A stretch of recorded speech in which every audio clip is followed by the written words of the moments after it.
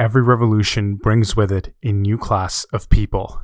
A typically young, optimistic group of outsiders who come together with a shared vision about the future and to cross pollinate ideas. This revolution will be no different. We will see a new class of creatives altogether.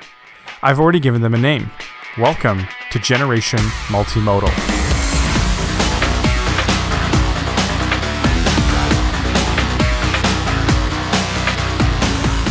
Besides being very imaginative, in this video I will be sharing 5 characteristics I can foresee Generation Multimodal having. Number 1. International. Since we know GPT-3 can already communicate in multiple human languages, it's no surprise it has serious international potential.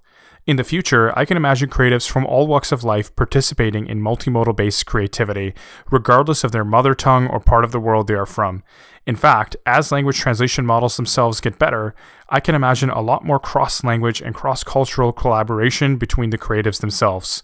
Internationalization is already an industrial trend Netflix is striving towards with their content. Number two, a lot less socially awkward.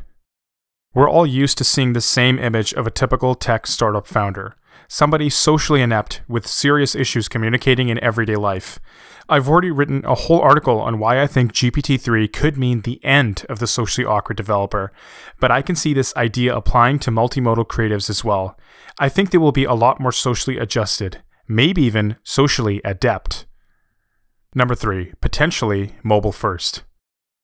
To create multimodal art, you just need to naturally communicate in English. There are fewer steps you need to do. I don't think you need the precision of a keyboard and mouse.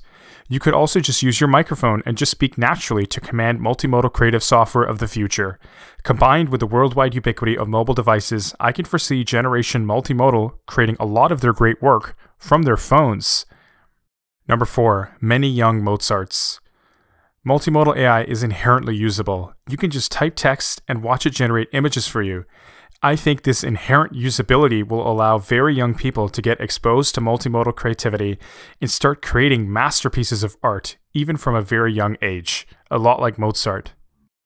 Number 5. Knowledgeable. Finally, in an earlier video, I've already talked about the importance of mixing and texturing when it comes to multimodal creativity.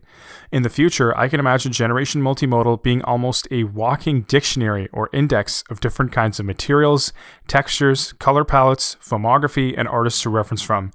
I could see them heavily studying the history of art and pop culture and meaningfully incorporating elements from across eras into all of their work, creating something original and entirely new. Just one final note as well. I wanted to mention that I think multimodal creativity will for sure be a cultural revolution which takes place over time, but I also think it will be an information revolution as well. I think it will have the same really fast saturation, the kind that information revolutions tend to have, like the switch over to cell phones, which happened just over a few short years. What I'm saying is, I think we'll go from a small group of multimodal creatives to a very mainstream class very quickly. So, in short, what are the characteristics I can imagine Generation Multimodal having? Well, for one thing, I think it will be really international. I think they'll be from all over the world, no matter what language they speak.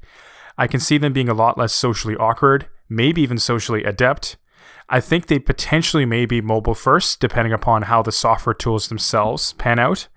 I can see see them being a really young age in the way that Mozart was, uh, because multimodal AI is so inherently usable, anyone at any age can make meaningful things with it.